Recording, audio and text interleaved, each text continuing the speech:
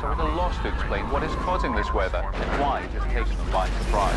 That sudden drop in temperature has half an hour ago. Mexican officials closed the border in the light of so many U.S.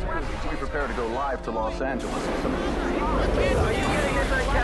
What you see is happening now. Look over there behind me! That's a, a tornado! Yes! A twister! This is just massive.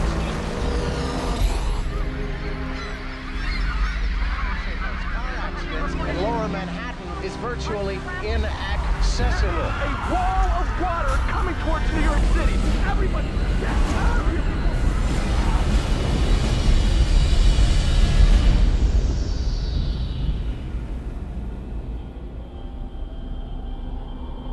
Save as many as you can.